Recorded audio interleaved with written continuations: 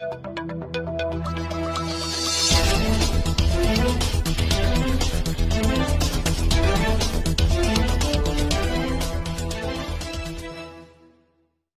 नमस्कार, स्वागत है आपका एम आर इंडिया टीवी में मीडियाकार मंच भारत आवाज़ के खिलाफ और मैं ऋतिक सिंह आइए नज़र डालते एक और खास खबर पर। M R India TV Auraiya, Uttar Pradesh.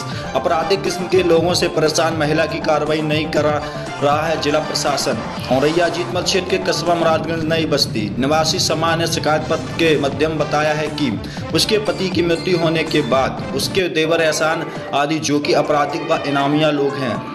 जिन्होंने समाज को उसके पति की हिस्से की भूमि बेईमानी कर बेच रहे हैं तथा मकान में भी नहीं रहने दे रहे हैं। पीड़िता कई दिन ज़िले के आलातकारियों के चक्कर लगा रही है। इसके बाद भी कोई मदद नहीं की जा रही है। वहीं क्षेत्रीय पुलिस पीड़िता की शिकायत पत्र में झूठा समझौता होने की बात कह रही है। आपका क्या नाम और कहाँ के निवासी हो? मुरादगंज के रहने वाले हैं। नाम के रहने वाले धनी लगन रह रहे किराए से। हम्म, क्या समस्या है आपकी? हमारी समस्या यह है कि हमारा मकान का बंटवारा और खेती का है। हम्म, मेरे देवर देता नहीं है बंटवारा। हम्म। क्या नाम है देवर का? बब्बू उर्फ़ एहसान। और पिता का नाम सुल्तान। क्यों नहीं दे रहे? कारण क्या है? कारण ये है वो खुद लेना चाहते हैं अकेले मेरे आपके द्वारा दी गई एप्लीकेशन में आरोप लगाया गया जो आपके देवर हैं वो आपराधिक किस्म के इनामिया बदमाश हैं। ऐसा क्या है? हाँ, हाँ सी जी सर।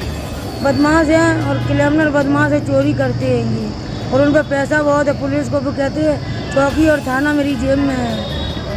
आज के करीबन चार पाँच दिन पहले आपने एक शिकायत दर्ज की थी। हाँ। तो क्षेत्रीय पुलिस कह रही है कि आपका समझौता हो गया। इस संबंध में क्या कहना चाहेंगे? नहीं समझौता नहीं दिया पुलिस झूठा कह रही है। आपके द्वारा किसी प्रकार कोई समझौता नहीं किया गया? कोई समझौता नहीं हुआ सर। पुलिस अपने अपने आप कह रही है। क्या चाहती है आप? हम ये चाहते हैं मेरा बंटवारा करा दे सर। हमारे बच्चे छोटे छोटे हैं। हम बहुत गरीब है मेरा आदमी नहीं है।